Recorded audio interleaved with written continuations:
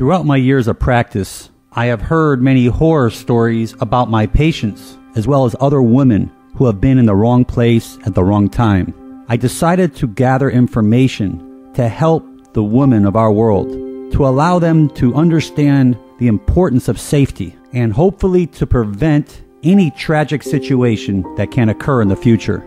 The three reasons why women are easy targets for random acts of violence are one, lack of awareness. You must know where you are at all times and know what's going on around you. Two, body language. Keep your head up, swing your arms, stand up straight. And three, the wrong place at the wrong time. Don't be walking alone in an alley or driving in a bad neighborhood at night. Women have a tendency to get into their cars after shopping, eating, or working, and just sit in their car where they may be doing their checkbook or making a list. Don't do this. The predator will be watching you, and this is the perfect opportunity for him to get into the passenger side, put a gun to your head, and tell you where to go. As soon as you get into your car, lock your doors and leave. These are a few notes about getting into your car in a parking lot or a parking garage. Be aware, look around you. Look into your car, at the passenger side floor, in the back seat, check even under the car as well. If you are parked next to a big van, enter your car from the passenger door. Most serial killers attack their victims by pulling them into the vans while the women are attempting to get into their cars. Look at the parked car on the driver's side of your vehicle and the passenger side as well. If a male is sitting alone in a seat nearest your car, you may want to walk back into the mall or work or get a guard or a policeman to walk you back out. It is always better to be safe than to be sorry. Always take the elevator instead of the stairs. Stairwells are horrible places to be alone. Do not get into an elevator if you suspect a weirdo already on there. Of course, bad men don't always look bad. Do not stand back in the corners on the elevator. Be near the front, the doors, ready to get off or on. If you get on an elevator on the 25th floor and the boogeyman gets on the 22nd, get off when he gets on. If the predator has a gun and you are not under his control, always run. That's what I said, always run.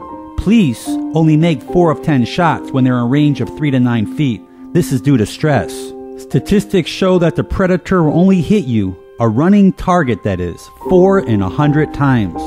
And even then, it most likely will not be a vital organ, so always run. These are some important tips you need to understand about yourself as a woman.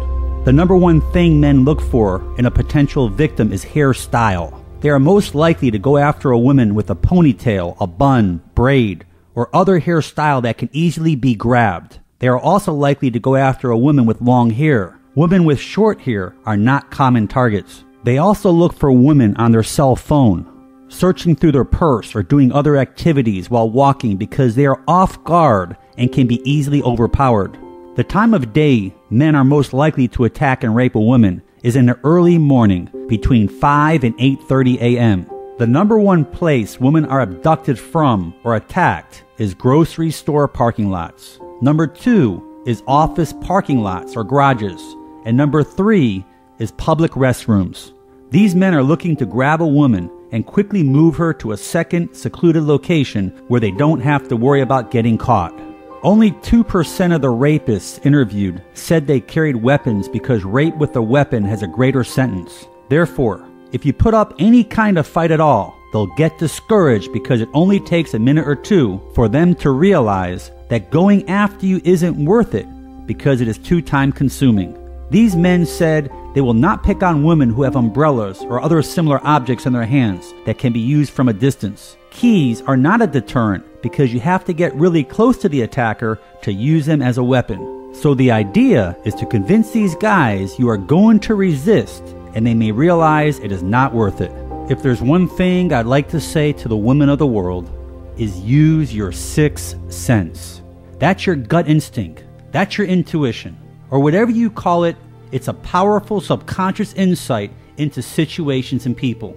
And all of us have it. It's a gift, but very few of us pay attention to it. Learn to trust this power and use it to your full advantage. And remember to avoid a person or a situation that does not feel safe. that does not feel right, that something inside of you tells you, stay away, and you'll always probably be right. So please pass this valuable information to a friend, a loved one, or maybe someone that you don't even know, because you never know what tomorrow may bring. You may be saving someone's life. Thank you for tuning in with me. I'm Dr. Alan Mandel.